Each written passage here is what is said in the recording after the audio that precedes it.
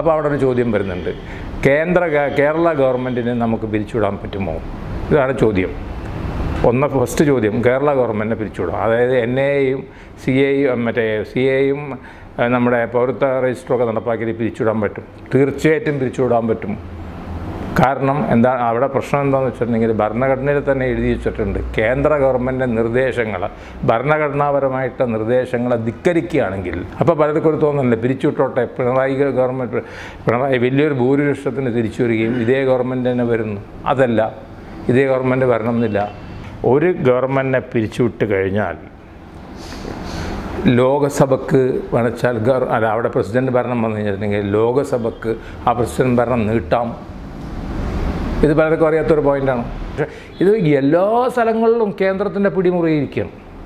ഈ ഭരണഘടന ഉണ്ടാക്കുന്ന കാലത്ത് നമ്മൾ വിശ്വസിച്ച് വിശ്വസിച്ചിരുന്നത് എന്താണ്? രാജ്യരക്ഷ തപ്പാൽ കറൻസി മനസ്സിലായില്ല? ഇങ്ങനെ ഒരു മൂന്നാലഞ്ച് കേസ് വിദേശകാര്യം ഇതിൽ മാത്രമേ കേന്ദ്രത്തിന് അധികാരം ഉണ്ടാവുന്നു. ഇപ്പോൾ എല്ലാ മേഖലയിലും ഓരോ നിയമങ്ങൾ കൊണ്ടുവന്ന് കേന്ദ്രത്തിന് പിടിമുറി മുറു മുറുകയാണ് അതുകൊണ്ടാണ് ഞാനന്ന് ജി എസ് ടി വന്നപ്പോൾ ഞാനതിന് ഞാൻ അതിന് അനുകൂലമല്ലായിരുന്നു എന്താ കാരണം? ഇപ്പോൾ തന്നെ ജി എസ് ടിയുടെ പ്രശ്നം എന്താ? എല്ലാ പണം എടുത്ത് കേന്ദ്രത്തിലോട്ട് ട്രാൻസ്ഫർ ചെയ്തിട്ട് കേന്ദ്രം കൊണ്ട് തരും തരണം അത്. തരുന്നുണ്ടോ? ഗവർണറുടെ റോളിനെ പറ്റി ബൊമ്മൈ ജഡ്ജ്മെന്റിൽ അന്ന് എസ് ആർ ബൊമ്മെ ജനതാ പാർട്ടിയുടെ മുഖ്യമന്ത്രി കർണാടകയിൽ അദ്ദേഹത്തിന് ഭൂരിപക്ഷം ഉള്ളപ്പോൾ അദ്ദേഹത്തെ പിരിച്ചുവിട്ടു. അദ്ദേഹം കേസ് കൊടുത്തു. അതാണ് നല്ല പ്രസിദ്ധമായിട്ടുള്ള ബൊമ്മെ ജഡ്ജ്മെന്റ് പക്ഷേ ബൊമ്മെ ജഡ്ജ്മെന്റിൽ പറഞ്ഞിട്ടുള്ള ഒരു കാര്യം അതായത് ബൊമ്മെ ജഡ്ജ്മെന്റിൽ പറഞ്ഞിരിക്കുന്നത് ഒരു ഗവൺമെന്റിനെ പിരിച്ചുവിടാൻ ഒരേ ഒരു കാര്യം മാത്രം പാടുള്ളൂ. അതായത് അതായത് സഭയിൽ ഭൂരിപക്ഷം നഷ്ടപ്പെടാമെന്ന് പക്ഷേ അതിന് മുകളിൽ കൂടെ കോൺസ്റ്റിറ്റ്യൂഷൻ പറയുന്നുണ്ട് എന്തെന്ന്? കേന്ദ്രം പറയുന്നത് കേട്ടിട്ടില്ലെങ്കിൽ ആജ്ഞ അത് അത് കേട്ടിട്ടില്ലെങ്കിൽ പിരിച്ചുവിടാം എന്ന് പറഞ്ഞിട്ടുള്ളത്. കാശ്മീരിലെ ഗവൺമെന്റ് നമ്മൾ പിരിച്ചുവിട്ടു. ഫാറൂഖ് അബ്ദുള്ള ഗവൺമെന്റ് നമുക്ക് പിരിച്ചുവിട്ടു. വേണ്ട ബി ഭാരതീയ ജനതാ പാർട്ടിക്കെതിരായിട്ട് തന്നെ ഇത് നീക്കൊണ്ടായിട്ടുണ്ട് ഭാരതീയ ജനതാ പാർട്ടിയുടെ രാമജന്മഭൂമി വിഷയത്തിൽ Kalyan Singh government national defence കൗൺസിലിന് കൊടുത്ത ഉറപ്പുകളെ കാറ്റിൽ പരത്തിക്കൊണ്ട് ബാബരി മസ്ജിദ് തകർക്കുന്നതിന് കൂട്ടുനിന്നപ്പോൾ ഭാരതീയ ജനതാ പാർട്ടിയുടെ മധ്യപ്രദേശ് രാജസ്ഥാൻ തുടങ്ങിയ ഗവൺമെന്റുകൾ പിരിച്ചുവിട്ടു. അങ്ങനെ നൂറോളം സ്ഥലങ്ങളിൽ ഗവൺമെന്റിനെ പിരിച്ചുവിട്ടിട്ടുണ്ട്. അങ്ങനെ അപ്പോൾ നമ്മൾ ഇങ്ങനെ ചിന്തിച്ചാൽ മതിയല്ലോ. അപ്പോൾ രാഷ്ട്രപതി ഭരണം എന്ന് പറയുമ്പോൾ ഗവർണർ ഭരണം. ഗവർണർ ഭരണം എന്ന് പറഞ്ഞാൽ ബി ജെ പി ഭരണം. ബി ജെ പി ഭരണം എന്ന് പറഞ്ഞാൽ അമിത്ഷായുടെ ഭരണം. കാരണം ഹോം മിനിസ്റ്റർ ആയിരിക്കുമല്ലോ ഇൻചാർജ് ബിഗ് ബ്രേക്കിംഗ് കേരളയുടെ വാർത്തകൾ നേരത്തെ അറിയാൻ ഞങ്ങളുടെ യൂട്യൂബ് ചാനൽ സബ്സ്ക്രൈബ് ചെയ്യുക. ഒപ്പം ബെല്ലൈക്കൺ അടിക്കാനും മറക്കരുത്. പൗരത്വ സമരം നടന്നുകൊണ്ടിരിക്കുന്ന സമയത്ത് ഒട്ടുമുക്കാൽ സ്ഥലത്തും നമ്മൾ കാണുന്ന വാക്കുകൾ ഭരണഘടനയെ സംരക്ഷിക്കുക എന്നുള്ളത്. രസകരമായ ഒരു സംഭവം എന്താണെന്ന് വെച്ചാൽ ഒരു മീറ്റിങ്ങിൽ പങ്കെടുക്കവേ ഒരു ജഡ്ജ് ഒരു മുൻ ജഡ്ജ് അവിടെ പ്രസംഗിക്കുന്നത് ഭരണഘടനയെ ജഡ്ജിമാരിൽ നിന്ന് സംരക്ഷിക്കുക ഞാൻ കൂടുതൽ ആഴത്തിൽ വിഷയത്തിലോട്ട് പോയപ്പോൾ വേറെ സംഭവം കൂടെ പുറത്തു വന്നു. എന്താണ്? ജനങ്ങളെ ഭരണഘടനയിൽ നിന്ന് സംര- സംരക്ഷിക്കുക അതായത് ജനങ്ങൾ ഭരണഘടനയ്ക്ക് മുകളിലാണ് എന്നുള്ള ചിന്ത. അങ്ങനെയാണ് ഭരണഘടന എന്താണെന്നുള്ളൊരു ഈ പ്രത്യേകിച്ച് ഈ ഒരു പശ്ചാത്തലത്തിൽ എന്താണ് എന്നുള്ളതിനെ പറ്റിയിട്ട് ഒരു ഒരു പുനർവായന ഞാൻ നടത്തിയത്. നമ്മൾ ഇങ്ങനെ തുടങ്ങാം. കേരളത്തിലെ ഗവൺമെന്റ് ഇത് നടപ്പാക്കിയില്ലെങ്കിൽ സി എയും പൗരസ്ത്യ രജിസ്റ്ററും നടപ്പാക്കിയില്ലെങ്കിൽ എന്തായിരിക്കും സ്ഥിതിവിശേഷം എന്താണ് ഭരണഘടന ഇതിനെപ്പറ്റി പറയുന്നത്? നമ്മൾ മനസ്സിലാക്കേണ്ടത് ഭരണഘടന ഒരു ഇരുമ്പുരക്കൊന്നുമല്ല. ഭരണഘടന സ്ഥായിയായ ഒരു കാരണമല്ല. സംഭവമല്ല. ഇന്ത്യയുടെ സ്വാതന്ത്ര്യം കിട്ടിയതിന് ശേഷം ഏകദേശം നൂറ് തവണ ഭരണഘടന അമെൻഡ് ചെയ്തിട്ടുണ്ട്. അങ്ങനെ ഭരണഘടന അമെൻഡ് ചെയ്യാമെന്നുണ്ടെങ്കിൽ അത് എങ്ങനെ നമ്മുടെ സംരക്ഷണത്തിനായിട്ട് നമുക്ക് മുന്നിൽ നിർത്താൻ പറ്റും. ഞാനൊരു ഉദാഹരണം പറയാം. ആയിരത്തി തൊള്ളായിരത്തി എഴുപത്തി അഞ്ച് തൊട്ട് എഴുപത്തേഴ് വരെ ഉണ്ടായിരുന്ന എമർജൻസി കാലഘട്ടം. ആ കാലഘട്ടത്തിൽ ഭരണഘടന യഥാർത്ഥത്തിൽ സസ്പെൻഡ് ചെയ്യണം ചെയ്തത്. ആ സമയത്ത് പൗരന്മാരുടെ അവകാശങ്ങൾ എടുത്തു കളഞ്ഞു. ഒന്ന്. രണ്ട് ഭരണഘടനയുടെ മുന്നൂറ്റി അമ്പത്തി ആറാം വകുപ്പ് പ്രകാരം നില നിലവിലുണ്ടായിരുന്ന കോൺഗ്രസ് എതിരായിട്ടുണ്ടായിരുന്ന ഗവൺമെന്റുകളൊക്കെ പിരിച്ചുവിട്ടു. അതേമാതിരി തന്നെ ഭരണഘടന മുന്നൂറ്റി അമ്പത്തി ആറ് വകുപ്പ് അല്ല വകുപ്പല്ല ഭരണഘടനയുടെ മറ്റു ചില വകുപ്പുകൾ ഉപയോഗിച്ചുകൊണ്ട് ലോകസഭ അഞ്ച് വർഷത്തിൽ നിന്ന് ആറ് വർഷത്തിലോട്ട് നീട്ടി. ഇത് ഒരു ഒരു ഉദാഹരണമാണ്. അഭിപ്രായം അതായത് ഭരണഘടന അനുസരിച്ചിട്ട് ലോകസഭയുടെ കാലാവധി നീട്ടാന്നുണ്ടെങ്കിൽ എന്താ അതിന്റെ അർത്ഥം? അതേമാതിരി തന്നെ നമുക്കിങ്ങനെ നോക്കാം. ഇതുവരെ നടന്നിട്ടുള്ള ജഡ്ജ്മെന്റുകൾ അനുസരിച്ചിട്ട് നമ്മുടെ അനുച്ഛേദം മുന്നൂറ്റി അമ്പത്തി ആറ് അനുസരിച്ചിട്ട് ഗവൺമെന്റുകളെ തോന്നിയ വിധത്തിൽ പിരിച്ചുവിടപ്പെട്ടു. ഏകദേശം നൂറോളം ഗവൺമെന്റുകൾ നമ്മൾ പിരിച്ചുവിട്ട പിരി പിരിച്ചുവിട്ടിട്ടുണ്ട്. അതിൽ ഭൂരിപക്ഷമുള്ള ഗവൺമെന്റുകളാണ് അധികം ഉണ്ടായിരുന്നത്. ഏറ്റവും നല്ല ഉദാഹരണം മലയാളികളെ ഒന്നും കൂടെ ഉണർത്തുകയാണ് ഞാൻ. ആയിരത്തി തൊള്ളായിരത്തി അമ്പത്തേഴിലെ ഇ എം എസ് ഗവൺമെന്റ് ഭൂരിപക്ഷമുള്ള ഗവൺമെന്റ് ആയിരുന്നില്ലേ? ആ ഗവൺമെന്റിനെ പിരിച്ചുവിട്ടില്ലേ? അങ്ങനെ അത് അന്ന് അന്ന് തുടങ്ങിയിട്ട് നമ്മളറിയാം ഒരുപാട് ഗവൺമെന്റുകളെ നമ്മൾ പിരിച്ചുവിട്ടു. നമ്മളെ നമ്മൾ വേറെ നല്ല ഒന്ന് രണ്ട് ഉദാഹരണങ്ങൾ പറഞ്ഞുതരാം. ഭൂരിപക്ഷം ഉണ്ടായിരുന്ന മറ്റു പല ഗവൺമെന്റുകളെയും പിരിച്ചുവിട്ടതിന്റെ കാശ്മീരിലെ ഗവൺമെന്റ് നമ്മൾ പിരിച്ചുവിട്ടു. ഫാറൂഖ് അബ്ദുള്ള ഗവൺമെന്റ് നമുക്ക് പിരിച്ചുവിട്ടു. വേണ്ട ബി ഭാരതീയ ജനതാ പാർട്ടിക്കെതിരായിട്ട് തന്നെ ഇത് നീക്കൊണ്ടായിട്ടുണ്ട് ഭാരതീയ ജനതാ പാർട്ടിയുടെ രാമജന്മഭൂമി വിഷയത്തിൽ Kalyan Singh government national defence കൗൺസിലിന് കൊടുത്ത ഉറപ്പുകളെ കാറ്റിൽ പരത്തിക്കൊണ്ട് ബാബരി മസ്ജിദ് തകർക്കുന്നതിന് കൂട്ടുനിന്നപ്പോൾ ഭാരതീയ ജനതാ പാർട്ടിയുടെ മധ്യപ്രദേശ് രാജസ്ഥാൻ തുടങ്ങിയ ഗവൺമെന്റുകൾ പിരിച്ചുവിട്ടു. അങ്ങനെ നൂറോളം സ്ഥലങ്ങളിൽ ഗവൺമെന്റിനെ പിരിച്ചുവിട്ടിട്ടുണ്ട്. അങ്ങനെ പിരിച്ചുവിട്ടതിന് പുറം പുറമെ ഗവർണറുടെ റോൾ കൂടി നമുക്കിവിടെ പരിശോധിക്കാം. ഗവർണർമാർ എന്താ ചെയ്തിട്ടുള്ളത്? എപ്പോഴും കേന്ദ്രത്തിന്റെ ഒരു ഏജൻസി ആയിട്ടാണ് പ്രവർത്തിച്ചത്. ഇത് ഏറ്റവും നമുക്കറിയാം ഏറ്റവും ഇതിൽ പ്ര- കുപ്രസിദ്ധി നേടിയ ഗവർണർ കോൺഗ്രസ് ഗവർണറായിരുന്ന റാംലാൽ ആന്ധ്രാപ്രദേശിലെ എൻ ടി റാമറാവിനെ പിരിച്ചുവിട്ടു. അദ്ദേഹത്തെ പിരിച്ചുവിട്ടതിന് ശേഷം അദ്ദേഹത്തിന്റെ പാർട്ടി പ്രവർത്തിക്കൊണ്ട് നാദേന്ദ്ര ഭാസ്കർ റാവിന്റെ നേതൃത്വത്തിൽ ഒരു ഗവൺമെന്റിനെ കുടിയിരുത്തി അവിടെ. പക്ഷേ പിന്നീടാണ് മനസ്സിലായത് നരേന്ദ്ര നാദേന്ദ്ര ഭാസ്കർ റാവുവിന് ഭൂരിപക്ഷമില്ല എന്നുള്ളത്. അങ്ങനെ എൻ ടി ആർ ഡൽഹിയിൽ പോയി. ഡൽഹിയിൽ പോയതിന് ശേഷം അദ്ദേഹം വീണ്ടും അദ്ദേഹത്തെ ഇതാക്കേണ്ടി വന്നു. അദ്ദേഹത്തെ മുഖ്യമന്ത്രിയാക്കേണ്ടി വന്നു. അപ്പോൾ ഗവർണർമാർ അപ്പോൾ ഗവർണർമാരുടെ അധികാരത്തെ പറ്റിയിട്ട് അങ്ങനെ ഒരു കമ്മീഷൻ വെക്കേണ്ടി വന്നു.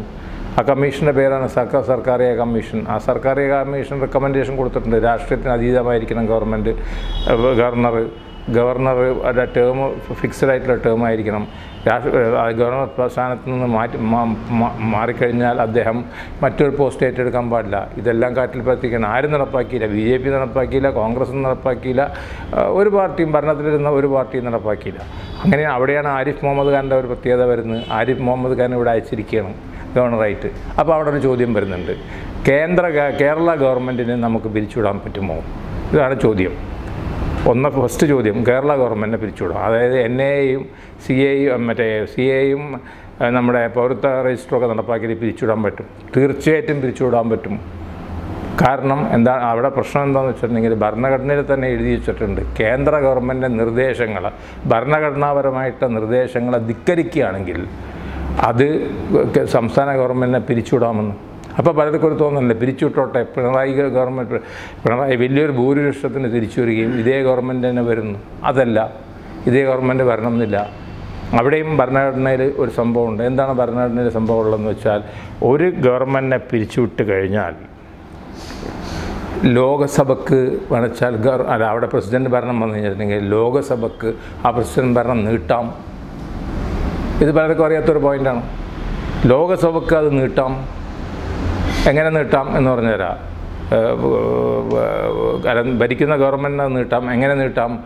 അത് കൊണ്ടുവന്ന് ഒരു ഭരണഘടനയിലും ഒരു അമെൻമെന്റ് നടത്തിയാൽ മതി.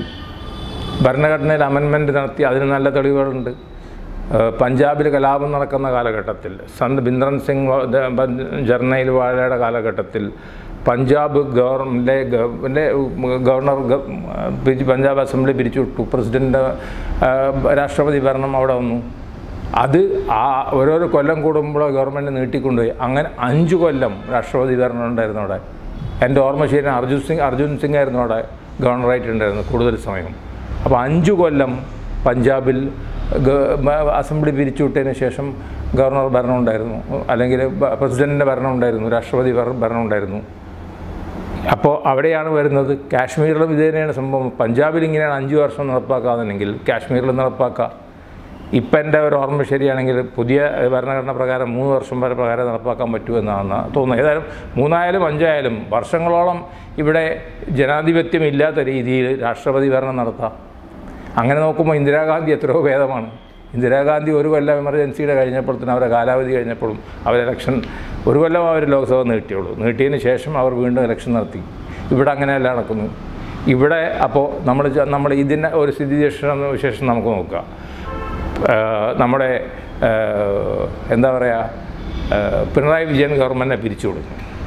പിണറായി വിജയൻ ഗവൺമെന്റ് നടപ്പാക്കാൻ കൂട്ടാക്കുന്നില്ല. രാഷ്ട്രപതി ഭരണം വരുന്നു. രാഷ്ട്രപതി എന്ന് പറഞ്ഞാൽ ആരുടെ ഭരണമായിരിക്കും? ആരിഫ് മുഹമ്മദ് ഖാന്റെ ഭരണമായിരിക്കും. അങ്ങനെ ആരിഫ് മുഹമ്മദ് ഖാന്റെ ഭരണം ഇവിടെ വരുമ്പോൾ വരുമ്പോൾ ഇട- ഇടക്കിടക്ക് അത് ലോക്സഭയിൽ നീട്ടിയാൽ മതി. ലോക്സഭയിലെയും രാജ്യസഭയിലെയും ഭൂരിപക്ഷം അനുസരിച്ചിട്ട് ഭരണഘടന പ്രകാരം ഇപ്പോൾ ഇവിടെ രാഷ്ട്രപതിയുടെ ഭരണം നമുക്ക് നീട്ടാം.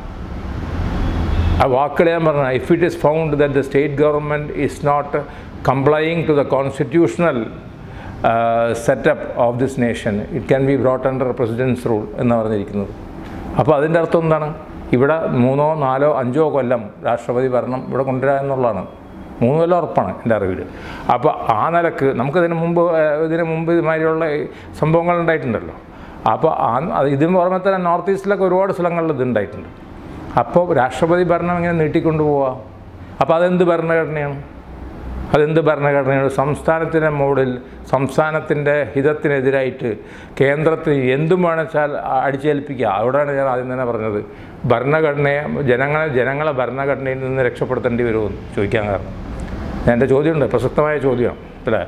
അപ്പോൾ നമ്മൾ ഇങ്ങനെ ചിന്തിച്ചാൽ മതിയല്ലോ. അപ്പോൾ രാഷ്ട്രപതി ഭരണം എന്ന് പറയുമ്പോൾ ഗവർണർ ഭരണം. ഗവർണർ ഭരണം എന്ന് പറഞ്ഞാൽ ബി ജെ പി ഭരണം. ബി ജെ പി ഭരണം എന്ന് പറഞ്ഞാൽ അമിത്ഷായുടെ ഭരണം. കാരണം ഹോം മിനിസ്റ്റർ ആയിരിക്കുമല്ലോ ഇൻചാർജ്. അപ്പോൾ കാശ്മീർ എങ്ങനെ കിടക്കുന്നോ? അതുമാതിരി കേരളവും കിടക്കും. അതാണ് അതിന്റെ സംഭവം. അപ്പോൾ നമ്മൾ വിചാരിക്കണം ഞാൻ വീണ്ടും പറയണം പട്ടം പറപ്പിച്ചത് കൊണ്ടോ അതോ ബലൂൺ മറ്റേ പറപ്പിച്ചത് കൊണ്ടോ ഒന്നും ഈ സമരം വിജയിക്കാൻ പോകുന്നില്ല. ഇതൊരു വലിയൊരു സമരമായിട്ട് പോകാൻ പോകണം നമ്മൾ കാണുന്ന മാതിരിയല്ല. ഇത് വലിയൊരു മഹാസംഭവമായിട്ട് പോകണം ഞാൻ നേരത്തെ പറഞ്ഞ മാതിരി ഇന്ത്യയുടെ ചരിത്രത്തിൽ ഒരുപാട് ഇത്തരത്തിലുള്ള സമരങ്ങൾ ഉണ്ടായിട്ടുണ്ട്. നമ്മളിവിടെ കാണുന്ന മാതിരി കുറേ പെൺകുട്ടികൾ റോട്ടിലിറങ്ങിയതിനെ കൊണ്ടോ കുറേ പേര് സെമിനാറുകൾ നടത്തിയോണ്ടോ ഇതൊന്നും തീരാൻ പോകുന്നില്ല. ഇവിടെ നമ്മൾ കാണേണ്ടത് കൊല്ലങ്ങളോളം നിലനിന്ന ആസാമിലെ അജിറ്റേഷനാണ് ആസാമിൽ Assam ഗണപരിഷത്തിന്റെയും A A S U all Assam students യൂണിയന്റെ നേതൃത്വത്തിൽ നടന്നിട്ടുള്ള ആസാമി സംസ്കാരത്തെ രക്ഷിക്കാൻ വേണ്ടിയിട്ടുള്ള സമരം. ഒന്ന്. രണ്ട് ആനന്ദപൂർ സാഹിബ് റെസൊല്യൂഷൻ എന്ന പേരിൽ ഇതേ പ്രശ്നം തന്നെ ഉന്നയിച്ചുകൊണ്ട് അകാലികൾ അതായത് കേന്ദ്രത്തിന് കൂടുതൽ ശക്തി ആ, ഇതുണ്ട്. എന്താ പറയുക അധികാരങ്ങളുണ്ട്. സംസ്ഥാനങ്ങളുടെ അധികാരങ്ങൾ മെല്ലെ മെല്ലെ കാർന്നെടുത്ത് എന്ന് പറഞ്ഞാൽ തുടങ്ങിയ സമരമാണ് ആനന്ദപൂർ സാഹിബ് റെസൊല്യൂഷൻ. അതിലാണ് പിന്നീട് സന്ത് ജനറൽ ജർണൽ സിംഗ് ബിൻവാലയൊക്കെ വന്ന് അതിലൊരു കലാപത്തിന്റെ രൂപം നൽകുന്നത്. അത് എത്ര വർഷം നീണ്ടു നീണ്ടു ആ കലാപം? രണ്ട്. മൂന്ന് കാശ്മീരിലെ കലാപങ്ങളെ പറ്റി നമുക്കറിയാം. മൂന്ന്. നാല് നമുക്കറിയേണ്ടത് Laldenga Mizo national front എന്ന പേരിൽ അദ്ദേഹം കലാപം ഉയർത്തി അവിടെ. ഐസുവാൽ പോലുള്ള നഗരങ്ങളൊക്കെ അവിടെ ബോംബിട്ട് നശിപ്പിച്ചു. മനസ്സിലായോ? നോർത്ത് ഈസ്റ്റിൽ.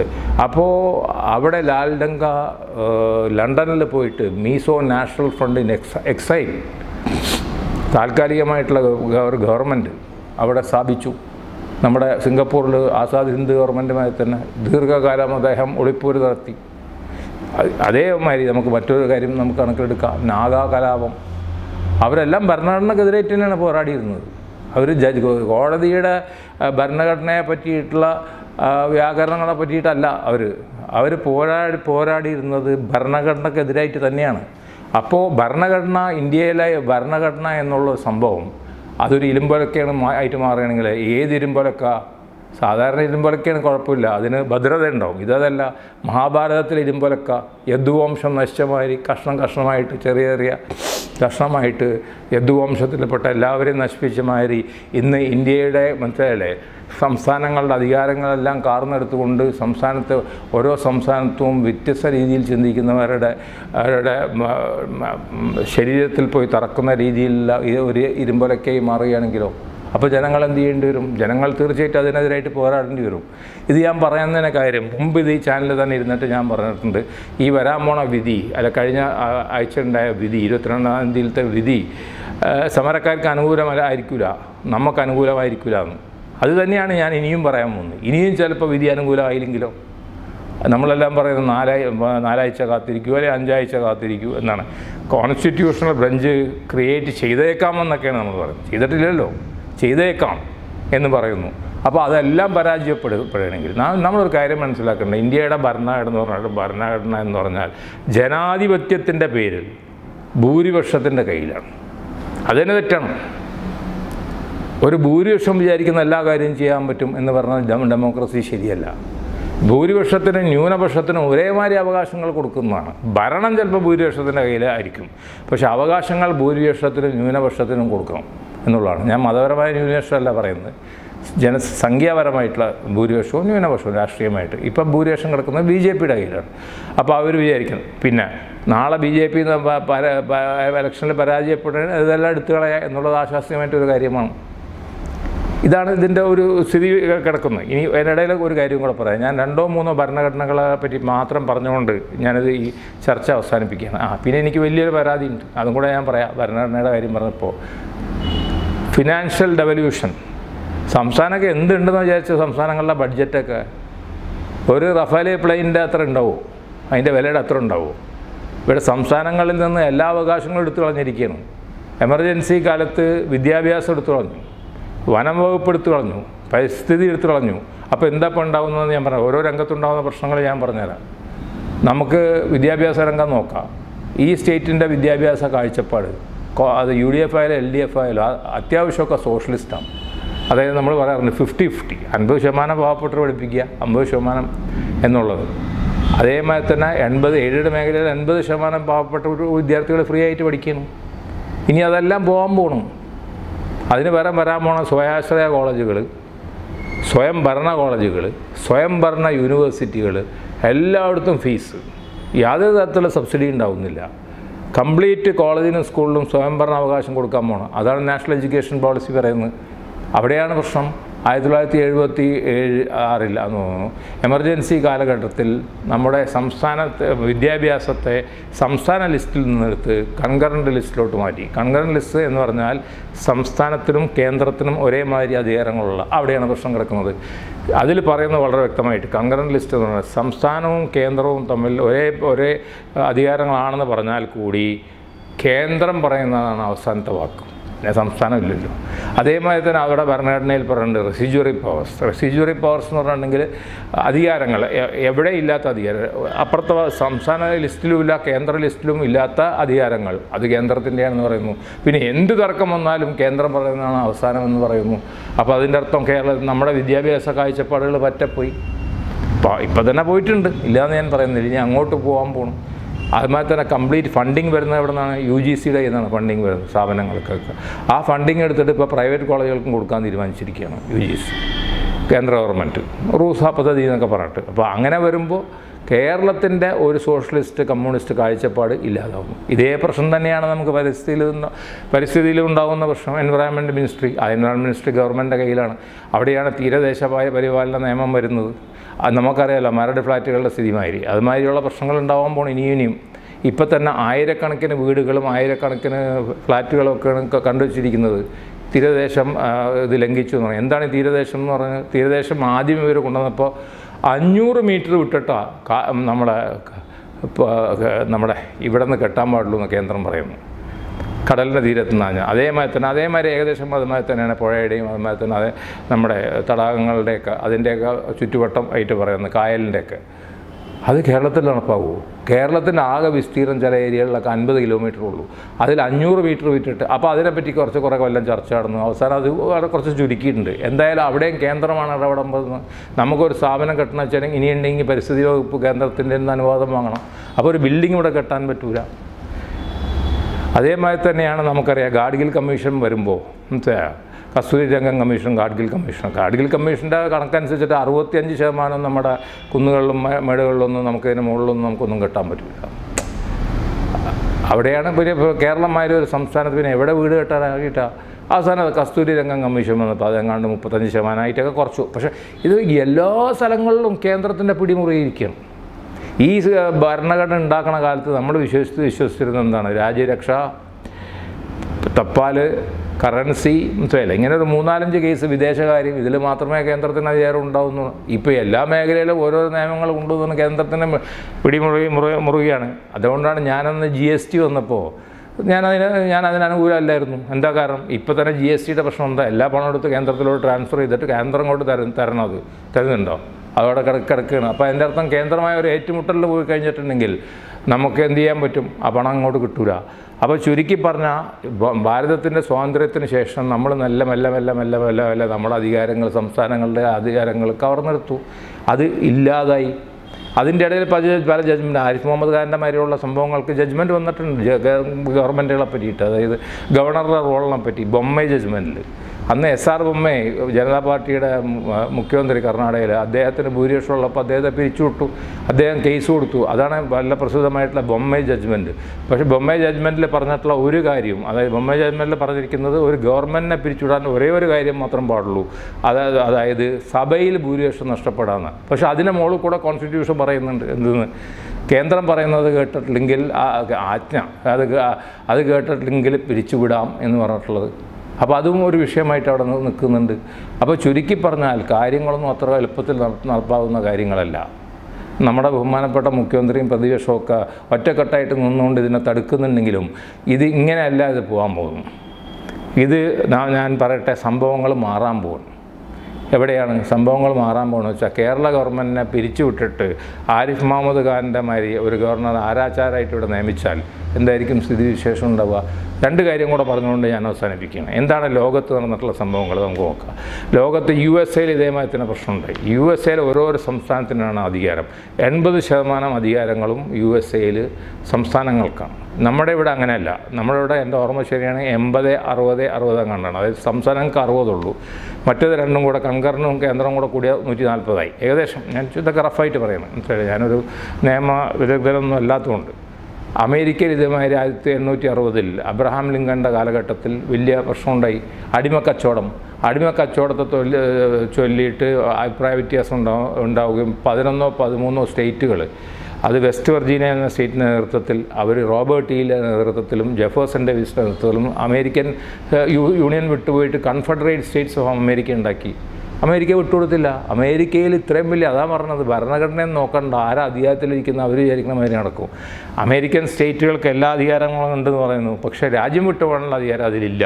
അപ്പോൾ എന്തായി? വലിയ യുദ്ധം നടന്നു ആഭ്യന്തര യുദ്ധം നടന്നു. യൂണിയൻ അതായത് അബ്രഹാം ലിങ്കന്റെ നേതൃത്വത്തിലും മറ്റത് കൺഫെഡറസി എന്ന് പേരും. ആഭ്യ ആഭ്യന്തര യുദ്ധം നടന്നു ലക്ഷക്കണക്കിന് ആൾക്കാർ മരിച്ചുപോയി അപ്പോൾ ഞാൻ പറഞ്ഞു അതാണ് ഞാൻ പറഞ്ഞത് പട്ടം പുറപ്പിക്കലല്ല ഈ സംഭവം എന്ന് ഞാൻ പറയാൻ കാരണം. ഞാൻ പറഞ്ഞു വരുന്ന പ്രശ്നം അതാണ്. നാളെ ഇങ്ങനത്തെയൊക്കെ സ്ഥിതിയിലോട്ട് കാര്യങ്ങൾ പോയി എന്നിരിക്കാം മനസ്സിലായില്ലേ. അടുത്ത് നമുക്ക് യു എസ് എസ് ആർ നോക്കാം. അവിടെ തിരിച്ച് ഭരണഘടന വേറെ രീതിയിലായിരുന്നു. യു എസ് എസ് ആറിന്റെ ഭരണഘടന അനുസരിച്ചിട്ട് പതിനഞ്ച് റിപ്പബ്ലിക്കുകൾ ഉണ്ടായില്ല. ആ പതിനഞ്ച് റിപ്പബ്ലിക്കുകൾക്കും അവർക്ക് ആ രാജ്യം വിട്ടു പോകാനുള്ള അധികാരം ഉണ്ടായിരുന്നു. അതുകൊണ്ട് ആയിരത്തി തൊള്ളായിരത്തി തൊണ്ണൂറ്റി രണ്ടിൽ ഗോർബച്ചേവിന്റെ കാലഘട്ടത്തിൽ ഗ്ലാസ്നോസ്റ്റിന്റെയും പെരസ്ട്രോയ്ക്കയുടെയും കാലഘട്ടത്തിൽ റഷ്യൻ ഫെഡറേഷന്റെ പ്രസിഡന്റായ യെൽസിൻ സംസ്ഥാനങ്ങൾക്ക് സ്വാതന്ത്ര്യം വേണമെന്ന് പറഞ്ഞു. അങ്ങനെ ജോർജിയ യുക്രൈൻ മോൾഡാവിയ ഒക്കെ ഓരോന്നോരോന്നായിട്ട് പോയി. ലിറ്റ്വ ലിറ്റ് ലാറ്റ്വിയ ലിത്വനിയ എസ്റ്റോണിയ അവർ പോയി. അവസാനം ഏഷ്യാറ്റിക് റിപ്പബ്ലിക് അതിലെ മുസ്ലിം റിപ്പബ്ലിക്കുകളായിട്ടുള്ള കിർഗിസ്ഥാനും തുർക്ക്മനിസ്ഥാനും താജിക്കിസ്ഥാനും അസർബൈജാനും ഉസ്ബെക്കിസ്ഥാനും മാത്രമൊക്കെ ബാക്കിയായി. അവസാനം അവർ പോയിട്ട് കണ്ട് ഗോർബച്ചേവിനോട് പറഞ്ഞു ഞങ്ങൾക്കിവിടെ തുടരാൻ ഞങ്ങൾ ആഗ്രഹിക്കുന്നു. യെൽസിനെ പോയി കണ്ട് ഞങ്ങളിവിടെ തുടരാൻ ആഗ്രഹിക്കുന്നു. അവർ സമ്മതിച്ചു കൊടുത്തില്ല. അവ അവരും വിട്ടുപോകേണ്ടി വന്നു. അപ്പോൾ അവിടെ നമ്മൾ വേറൊന്ന് കാണുന്നുണ്ട്. അതായത് അമേരിക്കയിൽ ആഭ്യന്തര യുദ്ധം നടന്നു. ഇവിടെ യുദ്ധം നടക്കാതെ വളരെ സൗഹാർദ്ദപൂർവമായിട്ട് അവർ പിരിഞ്ഞുപോയി. ഇനി നമുക്കറിയാം ബ്രിട്ടനിൽ വെക്കട്ടെ സ്കോട്ട്ലൻഡ് വേറെ രാജ്യത്തിന് വേണ്ടിയിട്ട് സ്കോട്ട്ലൻഡ് പോരാടി. ഒരു യുദ്ധമില്ല അവിടെ റഫറണ്ടമാണ് വോട്ടെടുപ്പ് അഭിപ്രായ വോട്ടെടുപ്പിലൂടെ തീരുമാനിക്കും രാജ്യത്ത് വേണോ വേണ്ടേ എന്നുള്ളത്. അപ്പോൾ ആ ഒരു വിഷയം വേറെ അവിടെ ഉണ്ടായിരുന്നു. പിന്നെ ഉണ്ടായിരുന്നത് എന്താണെന്ന് വെച്ചിട്ടുണ്ടെങ്കിൽ അടുത്തത് നമുക്ക് എല്ലാവരും ഫുട്ബോൾ പ്രേമികൾ ഒരുപാട് പേര് ഇവിടെ ഉള്ളതിനെ കൊണ്ടാണ്. എന്താണ് ഈ റിയാൽ മാഡ്രിഡും എഫ് സി ബാർസലോണയും തമ്മിലുള്ള ഏറ്റുമുട്ടൽ? മെസ്സിയുടെയും സുവാറസിന്റെ ടീമും ഒരു ഭാഗത്തും മറ്റൊരു മറ്റൊരു ഭാഗത്തും എന്താണ് ഏറ്റുമുട്ടലിന് കാരണം? കാരണം വളരെ സിമ്പിളാണ്. എഫ് സി ബാർസലോണ സ്വതന്ത്ര രാഷ്ട്രം പ്രഖ്യാപിച്ചു. എഫ് സി ബാർസലോണ പ്രഖ്യാപിച്ചെന്നല്ല എഫ് സി ബാർസലോണ അതിന്റെ സപ്പോർട്ടേഴ്സാണ്. ആ രാജ്യത്തിന്റെ പേരാണ് കാറ്റലോണിയ. അപ്പോൾ കാറ്റലോണിയൻ ഇൻഡിപെൻഡൻസിന് വേണ്ടിയിട്ട് ഒരു വോട്ടെടുപ്പ് നടന്നു. ആ വോട്ടെടുപ്പ് ഇവർ സമ്മതിച്ചില്ല. അപ്പോൾ ലോകത്ത് മുഴുവനും ഭരണഘടനകൾ എന്ന് പറഞ്ഞിട്ടുണ്ടെങ്കിൽ ഒരു ഇരുമ്പൊലക്കല്ല ഭരണഘടന എന്ന് പറഞ്ഞിട്ടുണ്ടെങ്കിൽ ഒരു മൊബൈലായിട്ടുള്ള ഒരു എന്താ പറയുക ഒരു പല രൂപത്തിലും വരുന്ന അല്ലെ അല്ലെങ്കിൽ പല രൂപത്തിലാക്കാവുന്ന ഒരു പല രൂപത്തിൽ മാറ്റിയെടുക്കാവുന്ന ഒരു സംഭവമാണ്. ഇതെല്ലാം ഭരണത്തിലിരിക്കുന്ന കക്ഷി അനുസരിച്ചിരിക്കും. അപ്പോൾ ഞാനിത് ഇത്തരം കാര്യങ്ങൾ പറഞ്ഞു തന്നത് ഭരണഘടനകളെ പറ്റി പറ്റിയൊക്കെ പറഞ്ഞു നമ്മൾ നമ്മളൊരു കാര്യം മനസ്സിലാക്കി അവസാന അവസാനമായി മനസ്സിലാക്കണം. നമ്മുടെ ഭരണഘടന മാത്രം ശരണം എന്ന് നമ്മൾ വിചാരിക്കാൻ പാടില്ല. നമ്മൾ നമ്മുടെ അവകാശങ്ങൾക്ക് വേണ്ടി പോരാടുക. അവകാശങ്ങൾക്ക് വേണ്ടി പോരാടുമ്പോൾ നമ്മൾ ശക്തമായ നിലപാടുകൾ എടുത്തുകൊണ്ട് ചിലപ്പോൾ നമ്മളൊരു വലിയൊരു ഏറ്റുമുട്ടലിന് കേന്ദ്രമായിട്ട് പോയിരിക്കും. അത്തരത്തിലൊരു കേന്ദ്രവുമായിട്ട് ഏറ്റുമുട്ടൽ ഉണ്ടായാൽ മാത്രമേ നമ്മൾ വിചാരിക്കുന്ന വിജയം നേടാൻ പറ്റൂ. അല്ലെങ്കിൽ എന്ത് പറ്റുമെന്ന് വെച്ചാൽ ആരിഫ് മുഹമ്മദ് ഖാന്റെ മാരത്തെ ഒരു ആരാചാര നിയമിച്ചുകൊണ്ട് കേന്ദ്ര നമ്മുടെ പ്രിയ പ്രിയ നമ്മുടെ കേരള ഗവൺമെന്റിനെ പിരിച്ചുവിട്ടുകൊണ്ട് വർഷങ്ങളോളമായിട്ട് ഇവിടെ കേന്ദ്ര ഗവൺമെന്റ് ഗവൺമെന്റിന് നടന്ന രാഷ്ട്രപതി ഭരണം എന്ന പേരിൽ ഞാൻ നേരത്തെ പറഞ്ഞ ആരിഫ് മുഹമ്മദ് ഖാന്റെ ഭരണം എന്ന പേരിൽ അമിത്ഷായുടെ ഭരണം ഇവിടെ വരാനുള്ള എല്ലാ സാധ്യതകളും കാണുന്നുണ്ട്. അതുകൊണ്ട് നമ്മുടെ സമരം ശക്തിപ്പെടുത്തണം. ഈ മുറകളിൽ നിന്നൊക്കെ മാറിയിട്ട് നമ്മൾ കുറച്ചും കൂടെ ഗാന്ധിയൻ മുറകളിലോട്ട് പോകേണ്ടിയിരിക്കുന്നു. നിസ്സഹകരണ പ്രസ്ഥാനം അതായത് ടാക്സുകൾ അടക്കാതിരിക്കുക അല്ലെങ്കിൽ മറ്റേ അത്തരത്തിലുള്ള ഗാന്ധിയൻ മുറകൾ മനസ്സിലായില്ലേ? സഹ സഹകരണം നമ്മൾ നേരത്തെ പറഞ്ഞ പല അതിന്റെ പല രീതികളാണ്. അതിനെപ്പറ്റി ഇപ്പം നമ്മൾ ചിന്തിച്ചുകൊണ്ടിരിക്കുന്നത് അവിടെ എത്തിയിട്ടില്ല. നമ്മൾ കാത്തിരിക്കുകയാണ്. എന്തിന്? പക്ഷേ കാ മറ്റേ കോടതി വിധി വരാൻ. പക്ഷേ കോടതി വിധിയിൽ വലിയ പ്രതീക്ഷയില്ലാത്തത് കൊണ്ട് ഞാൻ പറയണ തയ്യാറെടുപ്പ് വേണം ഒരു വലിയൊരു സമരത്തിന്. അല്ലാതെ ഇങ്ങനെ ഇതിപ്പോൾ നടന്നുകൊണ്ടിരിക്കുന്ന സമരങ്ങളൊക്കെ ഒരു ഒരു ഒരു എന്താ നമ്മൾ പറയുക ഒരു ബാഹ്യ പ്രകടനങ്ങൾ മാത്രമാണ്. അതുകൊണ്ട് എന്തെങ്കിലും ഒരു ഒരു ഉദ്ദേശ ലക്ഷ്യം നമുക്ക് നേരിടാൻ പറ്റും എന്നെനിക്ക് തോന്നുന്നില്ല. ബിഗ് ബ്രേക്കിംഗ് കേരളയുടെ വാർത്തകൾ നേരത്തെ അറിയാൻ ഞങ്ങളുടെ യൂട്യൂബ് ചാനൽ സബ്സ്ക്രൈബ് ചെയ്യുക ഒപ്പം ബെല്ലൈക്കൺ അടിക്കാനും മറക്കരുത്.